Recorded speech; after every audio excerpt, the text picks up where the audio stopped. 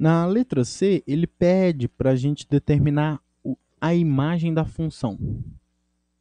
A imagem, ela nada mais é, são todos os valores de y que estão associados a algum x. Pelo menos um. Ou seja, se você perceber aqui, olhando o gráfico, todos os valores de 0 até 18, eles estão associados a algum valor.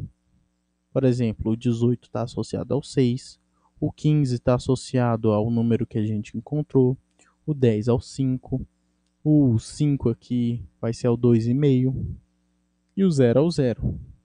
Ou seja, esse grupo aqui é a imagem. Sendo assim, vou botar aqui a imagem da função ela é igual ao zero até o 18, porque todos os elementos nesse intervalo, de 0 até 18, estão associados ao, a pelo menos um elemento de x. No nosso caso, como é uma reta, apenas um. Beleza?